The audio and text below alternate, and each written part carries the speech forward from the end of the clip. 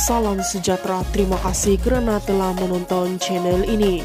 Kita kembali lagi di channel ini menyampaikan berita-berita hangat, gosip panas mengenai artis dalam dan luar negara. Mari kita tonton isu-isu hangat hari ini.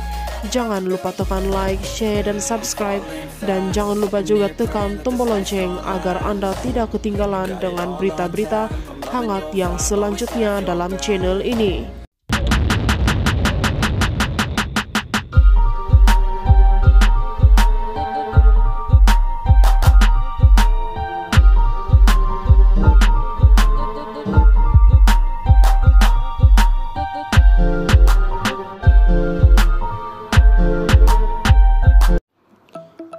Pengarah dan penerbit popular Dato Yusuf Aslam menyifatkan tindakan Putri Sarah Liana memberi hadiah baru-baru ini sebagai tanda ingatan tulus ikhlas. Yusuf berkata beliau dan istrinya Datin Fatimah Ismail yang menerima hadiah berupa kiriman jambangan bunga dan kek itu dengan berbesar hati serta mengucapkan terima kasih kepada Putri Sarah. Kami ucapkan terima kasih kepada Putri Sarah yang sentiasa ingat dengan kami, tidak kira sekecil mana pun hadiah yang diberikan, hakikatnya kiriman message daripadanya saja sudah memadai. Kami sentiasa doakan Putri Sarah supaya terus tabah dalam melalui liku-liku kehidupan ini dan pandai-pandailah menjaga diri. Kami akan selalu mendoakan yang terbaik untuknya, katanya kepada harian Metro.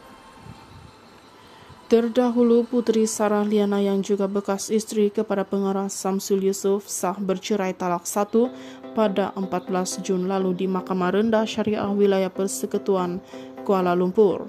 Hasil perkongsian hidup mereka selama 9 tahun, sejak 8 Maret 2014 itu mereka dikaruniakan dua cahaya mata, yaitu Saikul dan juga Sumaya.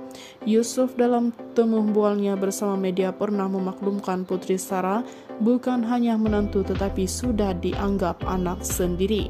Katanya dia dan istri juga redo dengan perpisahan antara Samsul dan juga Putri Sarah.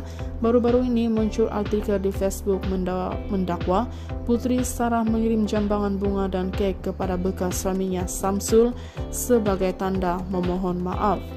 Namun, pelakon drama Hijrah Jana itu tampil menjelaskan hadiah berkenaan adalah buat ibu bapa mentuanya yang banyak memberi sokongan dan ada bersama dengannya selama ini.